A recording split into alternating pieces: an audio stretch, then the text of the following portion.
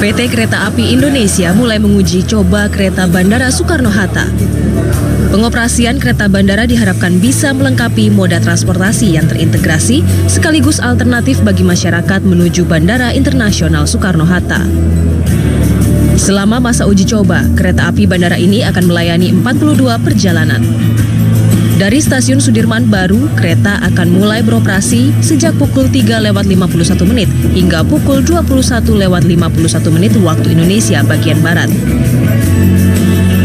Sementara dari Bandara Soekarno-Hatta, kereta akan beroperasi mulai pukul 6 lewat 10 waktu Indonesia Barat hingga pukul 11 malam waktu Indonesia Barat. Dirjen Perkereta-apian Kementerian Perhubungan sendiri akan terus melakukan evaluasi, terutama dalam hal kenyamanan penumpang kereta. Coba lihat bagaimana pelayanan khususnya terkait dengan waktu tadi juga, waktu waktu tempuh dan waktu kedatangan dan uh, keberangkatan. Nah tadi kembali kita uh, lihat evaluasi kita terhadap uh, pelayanan.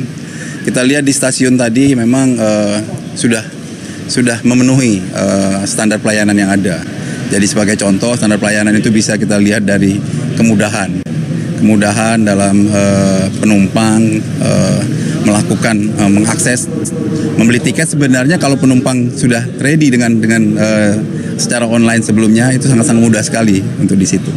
Itu yang kedua masalah kenyamanan juga di situ disiapkan uh, tempat uh, ruangan yang demikian nyamannya yang saya kira memang hal-hal uh, untuk integrasi ini bisa apa bisa seamless seamless service artinya pelayanan di stasiun dan di banda di, di di atas kereta maupun di bandara juga sama gitu.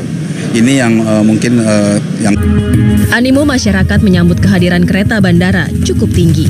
Sejak diluncurkan Selasa 26 Desember 2017, antrean calon penumpang di stasiun Sudirman Baru yang merupakan stasiun awal keberangkatan sudah cukup panjang.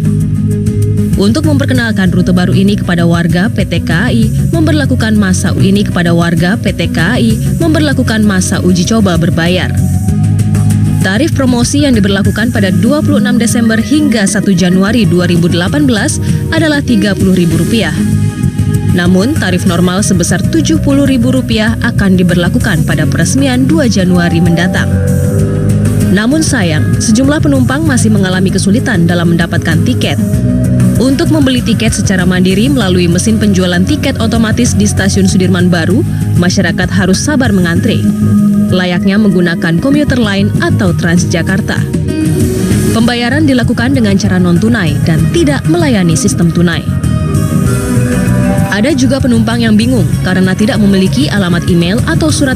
Selain pembelian melalui mesin penjualan tiket otomatis, calon penumpang juga bisa membeli tiket secara online melalui aplikasi kita nggak belum punya email ya.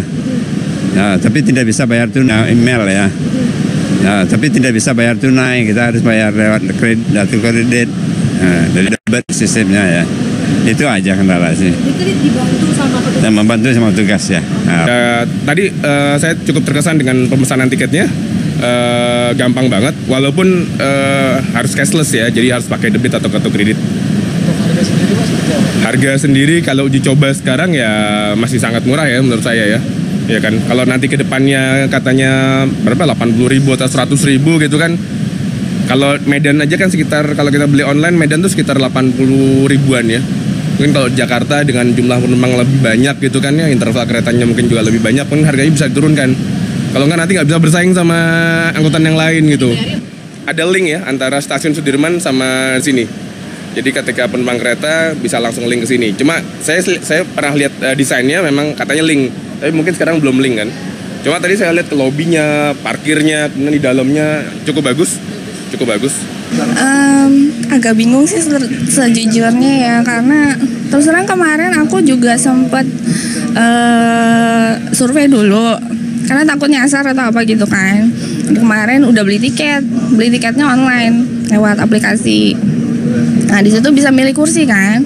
Dan ternyata pas nyampe di kereta itu ternyata saya juga bingung kok nggak ada nomor gerbong, tapi kursinya juga orang bebas duduk gitu. Ya udahlah, akhirnya saya juga bebas duduk gitu. Tapi so far uh, oke okay sih untuk pertama kali di Indonesia kan. Menanggapi masukan masyarakat, Dirjen Perkereta Apian menyebut email dan nomor telepon memang dibutuhkan terkait adanya perubahan jadwal penerbangan pesawat. Karena jadwal kereta bandara disesuaikan dengan jadwal penerbangan di Bandara Soekarno-Hatta. Bukan hanya kemudahan dan fasilitas yang harus diperhatikan untuk pengoperasian kereta bandara. Tarif kereta bandara juga harus bisa bersaing dengan moda transportasi yang lain. Kecepatan waktu tempuh menjadi keunggulan kereta bandara dibandingkan bus atau taksi.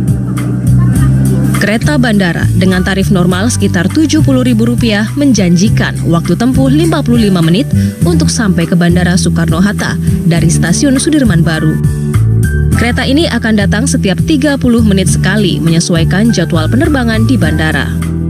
Moda transportasi lain adalah dengan menggunakan bus damri. Tarif yang dikenakan bila melakukan perjalanan dari Terminal Blok M atau Stasiun Gambir adalah Rp40.000.